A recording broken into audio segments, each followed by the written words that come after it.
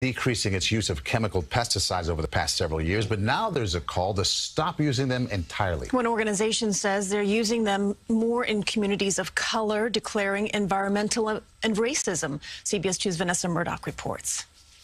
Poison parks. That's the claim of a special report just released by the Black Institute. The focus New York City's use of the chemical pesticide glyphosate, a likely carcinogen that's found in the weed killer Roundup. The Black Institute asserts the city engaged in environmental racism by using the pesticide more frequently and at higher concentrations in parks used by people of color. Folks in those communities that on a nice day they don't go to the Hamptons, they don't have a place upstate, they go to their local park. They enjoy the city around them.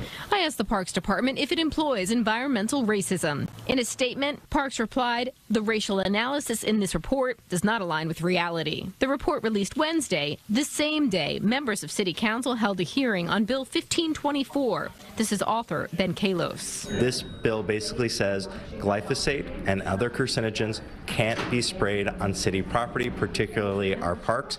Kallos introduced a similar bill years ago after listening to kindergartners from PS 290 sing.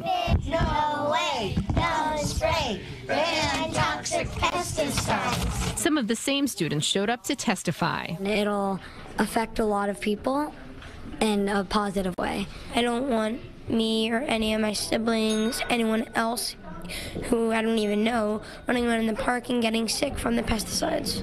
Deputy Commissioner Liam Kavanaugh says Parks supports not using chemical pesticides, but acknowledged it would limit managing invasive species. Uh, we estimate that it might take three to five mechanical applications to replace one successful application of a properly used and targeted herbicide. Bill sponsors expressed confidence they have veto-proof majority to get the bill passed this spring. Vanessa Murdoch, CBS 2 News. The Black Institute report also wants glyphosate banned at a state level.